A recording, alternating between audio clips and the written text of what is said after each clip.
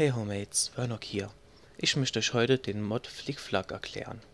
Flickflack ist leider einer jener Mods, die von den meisten Leuten als schlecht empfunden werden.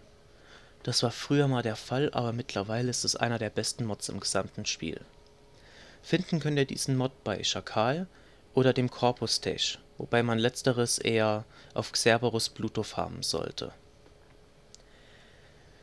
Wenn man Flickflack ausgerüstet hat und umgestoßen wird, steht man innerhalb von Sekundenbruchteilen wieder auf den Füßen und kann weiterrennen bzw. schießen oder seine Fähigkeiten benutzen. Wenn ein Uralter entfestet einen ranziehen möchte, wird man umgestoßen, aber da man innerhalb von Sekundenbruchteilen wieder steht, wird man auch nicht zu ihm herangezogen. Alles in allem kann man sagen, wenn man auf irgendeinen Mod in einem Frame verzichten kann oder noch Platz in einem Frame hat, sollte man auf jeden Fall versuchen, Flickflack mitzunehmen. Ich hoffe, ich konnte euch den Mod heute etwas näher bringen und viel Spaß beim Ausprobieren. Wer kennt das nicht, die Lasertüren. Und ich stehe schon wieder. So, hier hätten wir ein paar Gegner, die einen umschubsen.